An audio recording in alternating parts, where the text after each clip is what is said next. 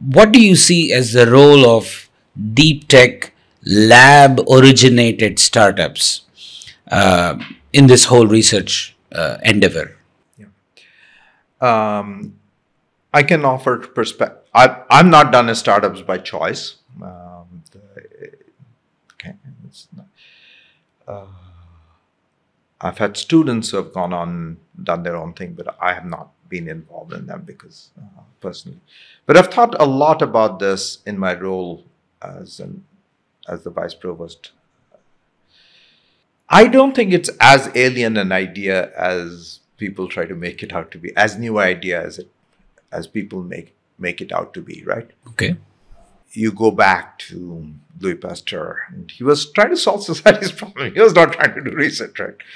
Uh, think about G.I. Taylor in kind of my field, right? And he was interested in very practical problems, trying to help society answer, uh, uh, solve very practical problems, essentially, uh, often uh, in the context of the world wars. And uh, so I don't think it's a new idea. It's an inherent part of our mission, right? Growing human knowledge, which is what research is, leads to new opportunities for society. And using your knowledge to create new opportunities for society, new technologies for society is inherent. Archimedes was trying to solve a certain problem, right? So I don't think it's that much of a new idea. So it is an inherent part of what we do. It's essential. I think when there were these large corporate research organizations, they fulfilled the role, but they no longer exist. They've been replaced by startups. So I, what I'm trying to get at is it's not such a new idea in my mind, right? Uh, in the context of Caltech, if von Karman was trying to build uh, help airline companies build planes, right? I mean, uh, uh,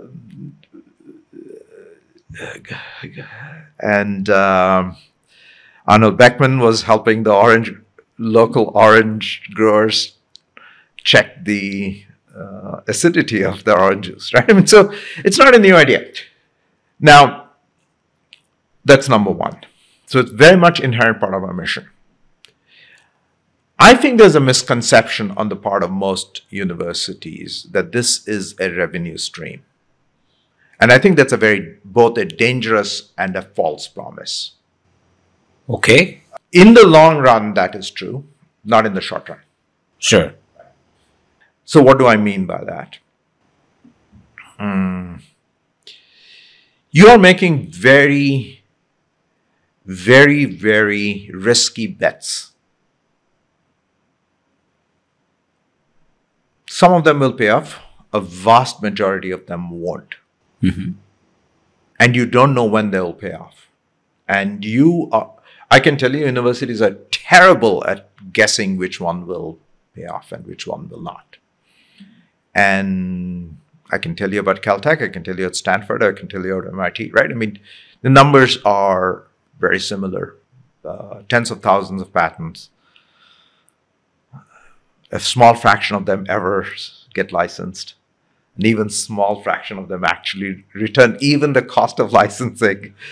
And then three make you most of the money, right? So, and you have, and if somebody tells you that they're going to bet that they are going to be successful at that, at guessing which these three are, uh, uh, they just, uh, yeah. So and universities are uniquely bad at doing something like this because there are other pressures which kind of interfere. But there is a very good reason for universities to do that. It's part of our mission. Hmm. It's part of our mission. Having an impact on society is part of our mission. So it's very important that we do that. Second, it's very important for researchers to do to do that as a community, as a whole. Why? Because this is what engages them in issues which confront society day to day. Right?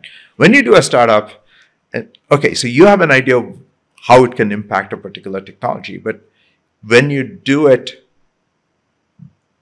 and when you really start thinking about market analysis and economics, which is what, as researchers, we don't often do, we have very distorted views of what economics is, uh, what an economic potential is. When you really start thinking about that, you really begin to understand what value propositions are. And that's very important, I think. It inspires new problems, new ways of thinking. So I think it's a very important thing. Third, it's inspirational for students. Yes. Uh, you're inspiring a group of students to to take risk in their life, do something which is risky but rewarding. I think there's real value in that. So